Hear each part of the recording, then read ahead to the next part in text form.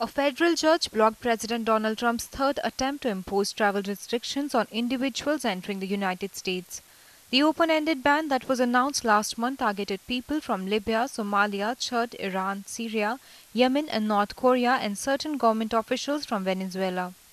United States District Judge Derrick Watson said in his ruling on Tuesday that the policy suffers from precisely the same maladies as its predecessor. It lacks sufficient findings that the entry of more than 150 million nationals from six specified countries would be detrimental to the interest of the United States. The White House immediately hit back in a statement calling the court order dangerously flawed. It also mentioned that it undercuts the president's efforts to keep the American citizens safe.